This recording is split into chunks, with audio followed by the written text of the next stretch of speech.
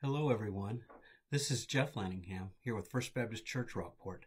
And I know many of you are part of our church. Some of you may be tuning in and uh, maybe you're on my feed or maybe you got hold of this somehow, but you're just tuning in today and maybe you just need a, a word of encouragement. And so we just want to come to you now as First Baptist Church here in Rockport. And we just want to encourage you uh, to continue on doing the good work that you're doing and staying strong through this difficult time. Uh, I know some of y'all may be, we, have been doing this for a little while now, a couple of weeks almost, and uh, it may be getting a little hard. I understand that uh, some of y'all have young children, and the young children at home without any place to go uh, gets to be a little bit old. I know that uh, we've got some seniors that are supposed to be graduating and, and beginning to struggle a little bit with how to manage all the things that they have coming up. I know that there's schoolwork going on, and we're struggling with that at my house and trying to figure all that out. Uh, in fact, I understand tomorrow I get to be in a video for my son, and uh, I can tell you I'm really, really looking forward to that. But there's a lot of things that we could do to stress out about all of this. But the best thing that we can do is just know that everybody's doing the best that they can and that we continue to trust in the people that are telling us what's going on and that we continue to comply with what they're asking and we continue just to stay home and and, and ride this storm and uh, and we'll be able to get through all of this. Uh, please know that your church staff is praying for you. Please know please know that we love you and please know that if you need anything you can contact us and we're happy to help you in any way that we can. Before we get started with our devotion today uh, i want to share just a couple of announcements with you uh, first of all, this coming Sunday is Palm Sunday.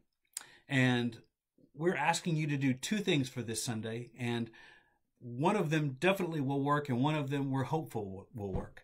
Uh, one thing we'd like for you to do is to get a picture of your family with some palm leaves. And if you would take a picture of your family with palm leaves and email that picture to connect at fbcrockport.net, we are hopeful that this Sunday we'll be able to put together a slideshow of all the different people in our church with palm leaves and, and make that in some way uh, a part of our service or maybe a slideshow before the service or a, a, an add on to our uh, Facebook page. But we want a chance for you all to get to see each other and get a chance to connect visually with the other families in our church. And so if you would take a picture of your you and your family with palm palm branches and palm leaves send it to connect at fbcrockport.net. Uh, and if you could do that by this Saturday, we're going to try to make that happen. The other thing that you could do is you could take those same palm leaves and display those on your front door. And that can be an example to all of those around you of what this Sunday is and what your faith is and what that means to you. Uh, maybe even perhaps your your neighbors will ask you what you're doing and why you're doing that. And you might have an opportunity to have a spiritual conversation with some of your neighbors. Uh, you may be have, able to have a chance to give them, uh, to explain the hope that you have in Jesus Christ. Also, next Friday, not tomorrow, but next Friday is Good Friday. And the church is going to have a Good Friday service live streaming at 6 p.m. We're going to have worship in the Lord's Supper. And before then, you're going to need to gather some bread and some grape juice. And Pastor Scott will help your family to celebrate the Lord's Supper right there in your home. I hope that you will make it a point to join us a week from tomorrow as we are able to come together virtually and celebrate the Lord's Supper and celebrate together as the body of Christ. I believe it's going to be a meaningful time, and I hope you'll be there to be a part of that. And then on April the 12th, that's Easter Sunday. Yesterday, Marcy suggested that everyone should take an Easter picture and send it to the church. Once again, connect at fbcrockport.net uh, we're hoping to be able to use those photos to do an online slideshow, either in or before the Easter service that Sunday. Uh, I know Marcy suggested that we would use them when we all get back together, but we'd like to have something Easter Sunday morning where we can all see each other and we can all uh, recognize each other and, and rejoice in that. And so if you would have some time to take a photo and then to get that email to us by next Thursday, that would be great. If you missed any of the uh, contact information on that, uh, you can just watch this video again and you can get it at the end, and that would be great. Uh, on Monday, when you and I were together, we looked at some verses in Philippians 1. And today I want to look at Philippians 2. And I'm going to read a chunk of Philippians 2 because Paul's words are so rich and he crams so much together and there's so much good stuff in here that there's some things that I found that I'll point out at the end. But there may be something else that speaks to you today. There may be something in God's word that speaks to you that didn't speak to me the same way. And you needed to hear that today. And so I'm going to read a big passage of Philippians 2 and then I'm going to point out a few things, and then we're going to close. And I want to close with uh, the Jude doxology today. Um, so Philippians 2, if you've got your Bibles, maybe you've had a chance to turn there. We're starting in verse 1 and just reading down a little over halfway. But starting in verse 1, he says, Therefore, if you have any encouragement from being united with Christ, any comfort from his love, if any common sharing in the Spirit, if any tenderness and compassion, then make my joy complete by being like minded, having the same love, being one in spirit and of one mind. Do nothing out of selfish ambition or vain conceit, but rather in humility. Lost my place. But rather in humility, value others above yourselves, not looking to your own interest, but each of you to the interests of others. In your relationships with one another, have the same mindset as Christ Jesus, who, being in very nature God, did not consider equality with God something to be used to his own advantage. Rather, he made himself nothing by taking the very nature of a servant. Being made in human likeness, and being found in appearance as a man, he humbled himself by becoming obedient to death, even death on a cross. Therefore, God exalted him to the highest place, and gave him the name that is above every name that at the name of Jesus every knee should bow and every tongue confess that Jesus Christ is Lord, to the glory of God the Father. Therefore, my dear friends, as you have always obeyed, not only in my presence, but now much more in my absence, continue to work out your salvation with fear and trembling. For it is God who works in you to will and to act in order to fulfill his good purpose. Do everything without grumbling or arguing, so that you may become blameless and pure children of God without fault in a warped and crooked generation. Then you will shine among them like stars in the sky as you hold firmly to the word of life. And then I will be able to boast on the day of Christ that I did not run or labor in vain.